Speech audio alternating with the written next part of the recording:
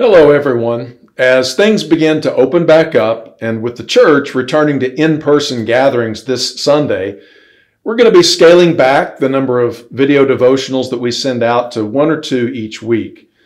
We really appreciate the encouragement that you have given to all of us. It's just really kept us going. And I especially want to thank Heidi, whose face you don't ever see on here, but who works harder than any of us to make this happen. Now, in my sermon yesterday, I shared my concern about the division in our country over just about everything. In my lifetime, I've never seen the nation as polarized or politicized as it is right now. Even things like when and how to resume in person church services is a national controversy. So here's what I plan to do in the days ahead.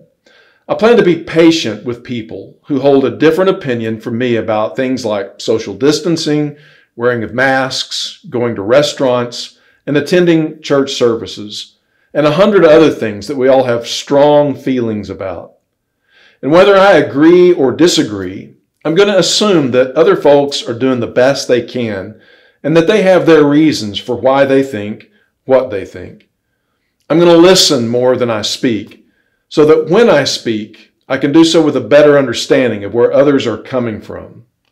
And I hope to especially practice this with my church family because it was within that context that the Apostle Paul wrote, If you bite and devour one another, watch out, or you will be consumed by one another. Galatians 5 15. You know, as Christians, we have a unique and wonderful opportunity right now to show the world how good and pleasant it is when people live together in unity.